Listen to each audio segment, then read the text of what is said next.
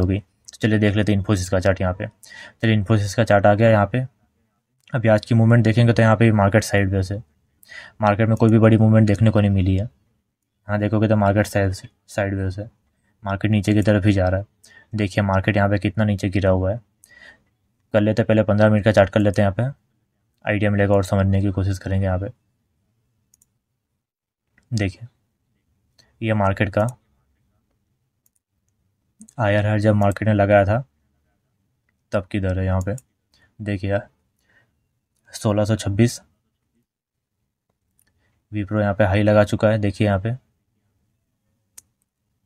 उसके बाद से मार्केट देखिए, कुछ दिन पहले का। उसके बाद से मार्केट देखोगे तो यहाँ पे गिरते ही गिरते चला गया नीचे की तरफ़।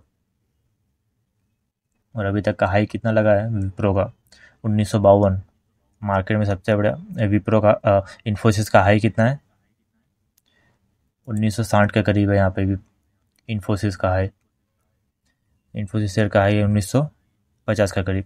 अभी यहाँ पे देखोगे तो ये मार्केट किस हिसाब से गिरा यहाँ पे जैसे मार्केट रेजिस्टेंस लिया, वापस मार्केट नीचे की तरफ़ गिरा है, फिर नीचे वापस मार्केट ऊपर है, वापस वहाँ से नीचे की तरफ़ गिरा हुआ है। यहाँ पे देखिए, ये सपोर्ट आपको मैं ड्रॉ करके बता देता हूँ। ये देखिए, आपको नहीं दिखता यहाँ पे इतना बड़ा सपोर्ट दिया हुआ है तो मार्केट यहीं से वापस नीचे की तरफ़ देखिए। यहाँ पर अगर स्टॉप लॉस लेके काम करोगे तो आपका अच्छा खासा टारगेट हिट होने वाला है। स्टॉप लॉस हिट नहीं होगा, आपका टारगेट हिट होगा यहाँ पे। और उसके बाद देखिए, जैसे ही लाइन ब्रेक किया मार्केट ने, ये देखिए, जहाँ पे वापस आया, वापस ऊपर गया, वापस से आया, वापस ऊपर गया, वापस आया, वापस ऊपर गया, वापस नीचे आया, वापस ऊपर की तरफ़ चला गया। तो वापस नीचे आया देखिए, यहाँ पे यहाँ पे जैसे ही ब्रेक किया मार्केट जैसे ही मार्केट ने ब्रेक किया तो कहाँ पे लिया? ये देखिए, ये ये ये देखिए, ये पॉइंट है यहाँ पे, उन्नीस सौ सत्तानवे के करीब। फिर वापस तेरह सौ सतानवे करीब। ये देखिए, वापस मार्केट यहाँ पे फिर वापस ऊपर चला गया। वापस मार्केट यहाँ पे, फिर वापस ऊपर। अब देखिए, यहाँ पे ब्रेक करने की कोशिश कर रहा है। आप देख रहे हो यहाँ पे? ब्रेक करने की कोशिश कर रहा है। मैं आपको चार्ट में क्लियर बता रहा हूँ आपको। पीछे की तरफ़ लेके जाके वनडे का चार्ट में सब कुछ करके आपको मैं बता रहा हूँ। देखिए यहाँ पे चार्ट ये ब्रेक करने की कोशिश कर रहा है यहाँ पे। तो देखिए यहाँ पे कहाँ तक आ सकता है? नीचे फिर तेरह सौ अट्ठारह के करीब आ सकता है, नीचे मार्केट यहाँ पे।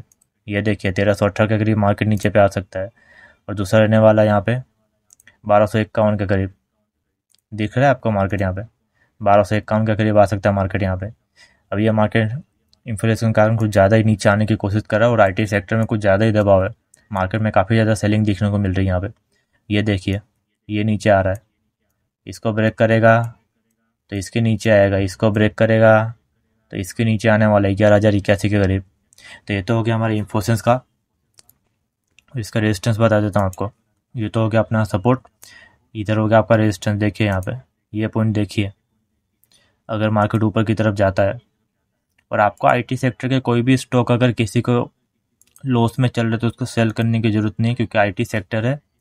यूएस का मार्केट जैसे अभी इन्फ्लेशन के कारण जो अभी बढ़ा है वहाँ पे, दबाव, वो सब पूरा का पूरा कम हो जाएगा। और आईटी सेक्टर में ऊपर से उछाल आएगी तो एक ही बार में उछाल आएगी, क्योंकि ये जिस हिसाब से बड़े स्टॉक घटते हैं उस हिसाब से उससे डबल स्टॉक बढ़ने की तैयारी में रहते हैं। तो यहाँ पे देखोगे तो ये सपोर्ट आपको मैंने रेजिस्टेंस आपको मैंने बताया। चौदह सौ चौहत्तर के करीब है और दूसरा पंद्रह सौ चौवालीस के करीब। तो मतलब उसका आपका टारगेट आने वाला है उसका टेंशन आपको नहीं लेना है।